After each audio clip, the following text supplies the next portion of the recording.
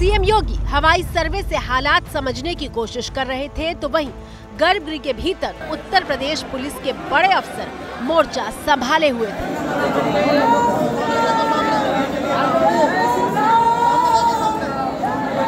मंगलवार सुबह से अयोध्या में भीड़ की जो तस्वीर नज़र आई, उसके बाद आसपास के जिलों में भी पुलिस एक्टिव हो गई। अयोध्या से करीब 60 किलोमीटर दूर बाराबंकी में पुलिस ने श्रद्धालुओं से अपील की कि वो भीड़ ज़्यादा होने की वजह से अयोध्या धाम अभी न जाएँ।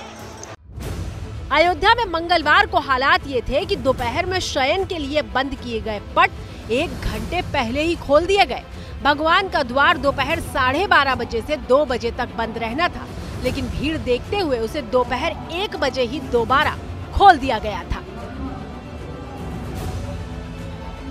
पहले यहाँ पर पैरामिलिट्री फोर्सेज शुरू में इतनी नहीं थी फिर उनको बुलाया गया है और अब अब उनको बुला करके ये पूरा जो रास्ता है इसको रोक दिया गया है।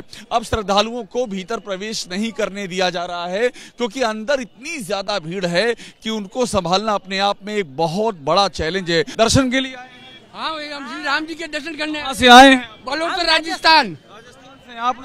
त्रिपुरा से है सर। त्रिपुरा से। त्रिपुरा से राजस्थान से आप? हिमाचल। आप हिमाचल से देखिए तीन स्टेट यही मिल गए त्रिपुरा हिमाचल राजस्थान और भी कोई स्टेट?